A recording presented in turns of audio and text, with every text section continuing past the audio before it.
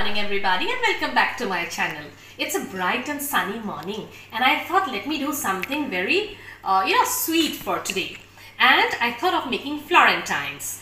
Florentines are actually this word Florentine comes from Florence of course. And necessarily they are biscuits very crispy biscuits which you, make with uh, say sugar butter melted butter and of course all the dry fruits that you love to have. And because we know so much about the dry fruits you know we can use all of them together into a biscuit and which doesn't use any atta or maida or flour or refined flour and hence it becomes so so interesting for kids to have and so very nutritious. So let's start making florentines which you can make in just 15 minutes. A quick and easy recipe and an everyday snack which can always be preserved for kids to have for people to have in your family anytime they want to snack good thing about the florentines is that you need all of them in the same quantity the ingredients. Say for instance here i have taken 55 grams of butter 55 grams of cherries 55 grams of almond powder and you can always choose for almonds uh, the whole almonds also because i had almond powder so i chose for that chose that. And here we also have around 55 grams of raisins and 55 grams of sugar which I have put in a mixie there. And the only thing that's different is that of course one tablespoon of cream which we need will need for the recipe. So easy. Let's get going and let's have make one of the easiest dishes ever and something that's so healthy and something that all your kids and everyone in the family can enjoy and will surely surely love in between i'd just like to mention that this these things are going into the oven. So I'll just put up my oven at preheat at 180 degrees centigrade for 10 minutes. Further, I have to actually chop down the cherries and the raisins.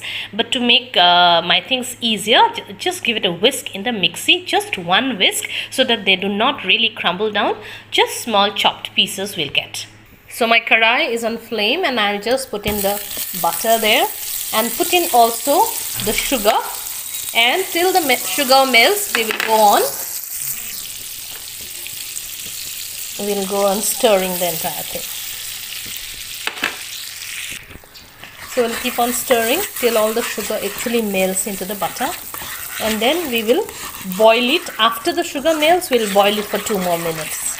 And uh, yeah because it's already you know we have powdered sugar there of course castor sugar so this will melt yeah it's already melted as you can see we will let it boil for two minutes and shut down the flame half the work is actually done.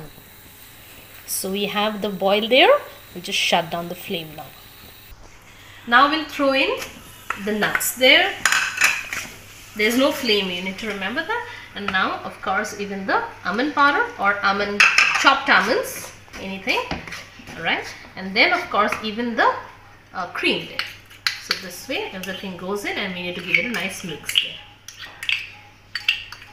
Off the flame and it's getting ready to be formed. The florentines there. Okay so this way we'll give it a mix. We need a baking dish with uh, some paper line there or any silver foil.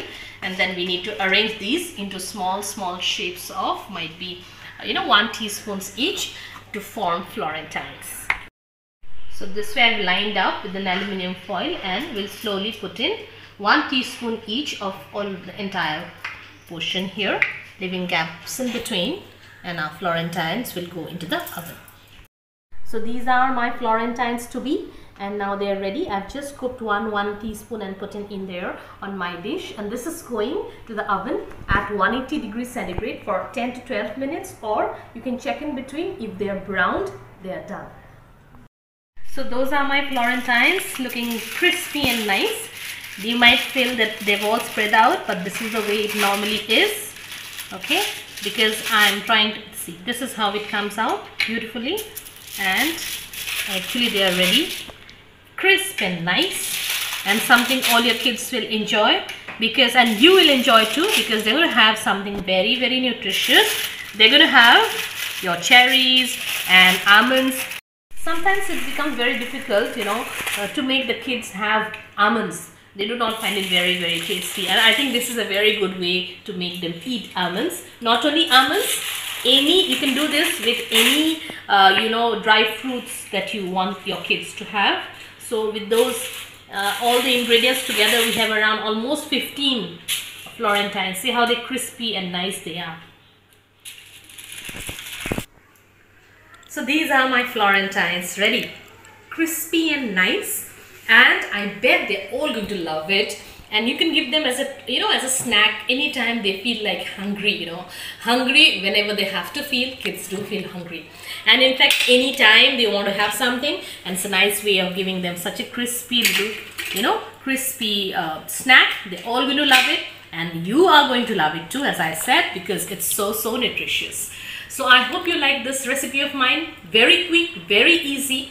And with ingredients you can just remember just like that and one more thing here you can put in for florentines you can put in any uh, dried dry fruits of your choice. And they are really going to come out well. That's so easy also. For me it took around 10 minutes or so. And in between i checked i've taken it out uh, taken them out. So be careful uh, not you need not wait till 12 minutes at 180 degrees centigrade.